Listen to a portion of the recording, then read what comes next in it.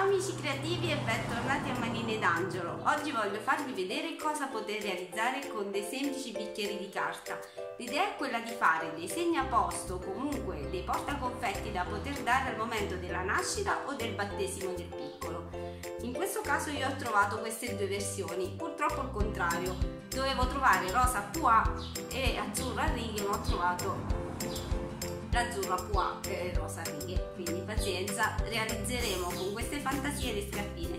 Servirà giusto per farvi vedere come procedere. L'idea di queste scarpine è veramente simpatica e eh, soprattutto da femminuccia i modelli che si possono realizzare sono davvero tanti. Da maschietto sono riuscita a realizzare una scarpina da tennis mentre da femminuccia abbiamo veramente diversi modelli. Questo con la rouge questa con la fascetta laterale. Stivaletto con il fiocco davanti e tanti altri ancora. Per una questione di tempo e per non fare un tutorial troppo lungo realizzeremo solo due modelli. La scarpina da tennis per il maschietto e la scarpina con la rouge da femminuccia alla fine del video vi metterò eh, diciamo vi farò una panoramica di tutte queste scarpine se poi c'è una scarpina in particolare che vi piace e volete vedere come si fa, me lo potete scrivere sotto nei commenti in modo che posso farvi un tutorial su quella scarpina nel dettaglio. Ora vi lascio il video di come realizzare questi simpatici segnaposto. Vi invito a iscrivervi al mio canale per rimanere sempre aggiornati e se vi piace il video lasciate un like. Partiamo dalla scarpina con le rouge. Per prima cosa devo specificare che più che un bicchiere questo è un contenitore per muffin di quelli che hanno il bordo smerlato. Andiamo dunque ad iniziare e tagliamo a un centimetro dal bordo tutto lo smerlo.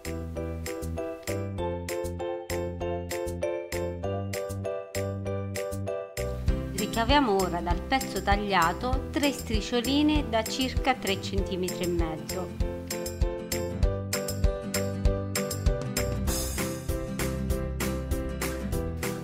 Passiamo ora alla patta. Intacchiamo la parte frontale con due linee a una distanza di 3 cm l'una dall'altra, lasciando circa mezzo centimetro dal fondo, anche di più.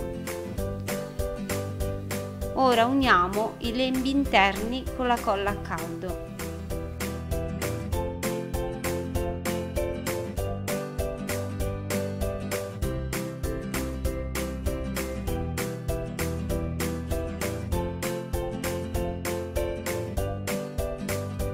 È arrivato il momento delle rouge. Andiamo ad attaccarle con la colla a caldo lungo il lembo che forma la patta.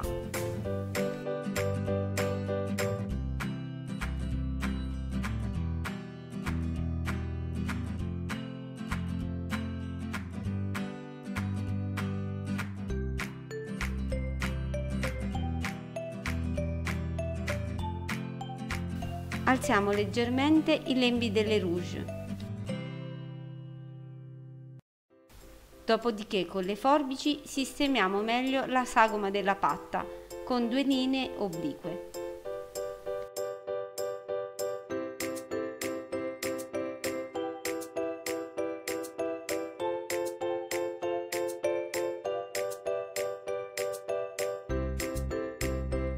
Ora per addolcire un po' eh, la sagoma della scarpina intacchiamo anche sui lati e formiamo delle pence.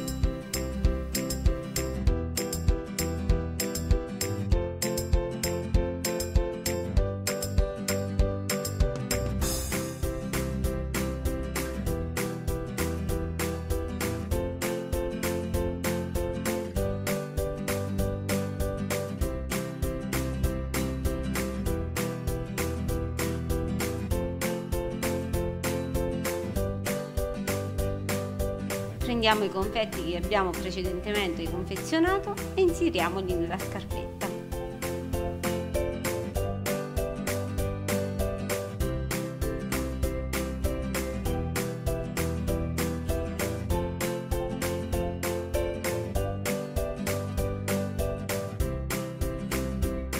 Passiamo ora alla scarpa da tennis e prendiamo come riferimento la mia sagoma Per prima cosa la parte davanti della scarpina misura 6 cm. Andiamo a riportare questa misura sulla parte frontale del bicchiere con un puntino. La parte dietro della scarpina invece misura 4 cm. Riportiamo questa misura sulla parte dietro del bicchiere nella parte opposta alla misura che abbiamo segnato in precedenza. Ora torniamo sulla parte frontale del bicchiere e segniamo la larghezza della patta di 4 cm a cavallo del puntino che abbiamo precedentemente segnato. Scartiamo la parte del bordo che non ci servirà. Ora andiamo ad intaccare dove abbiamo segnato la patta. Facciamo però attenzione a non arrivare al bordo, dobbiamo lasciare dal fondo circa 2 cm. Tracciamo ora una linea di congiunzione tra la punta che si è creata e il dietro, facendo una linea leggermente curva. Andiamo a tagliare.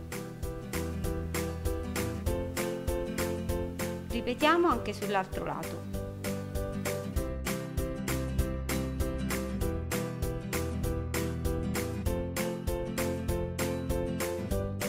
Smussiamo gli angoli della patta.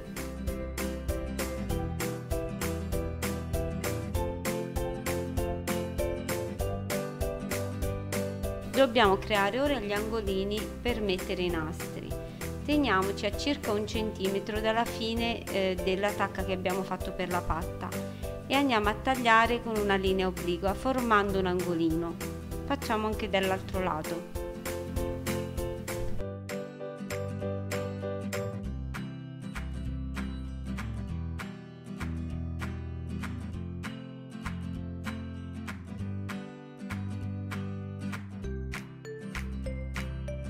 Con la perforatrice ad un foro andiamo a realizzare i buchetti che ci permetteranno di inserire il nastro.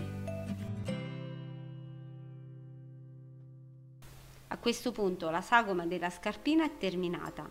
Andiamo ora a piegare i lembi.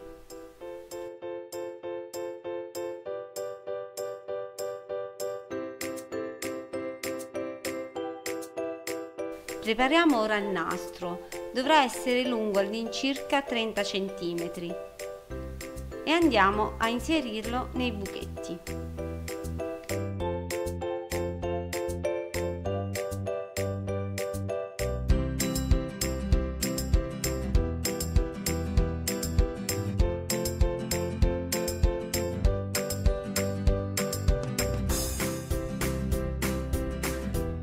Prepariamo i confetti e inseriamoli nella scarpina prima di allacciarla.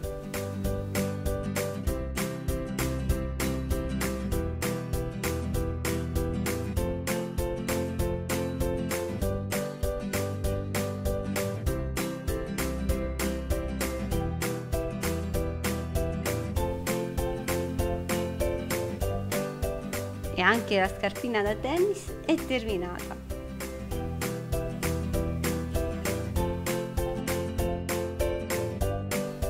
Ora lascio scorrere tutte le varie foto delle scarpine che ho realizzato. In basso a destra lascio un numerino corrispondente. Se volete potete lasciarmi nei commenti sia qual è la scarpina che vi è piaciuta di più, anche per farmi sapere il vostro parere e potete anche segnalarmi se volete un tutorial magari su un altro tipo di scarpina, un altro tipo di modello di cui non abbiamo parlato oggi per poter realizzare un altro piccolo tutorial. Nel frattempo vi ringrazio per aver visto il video e se vi è piaciuto lasciate un like.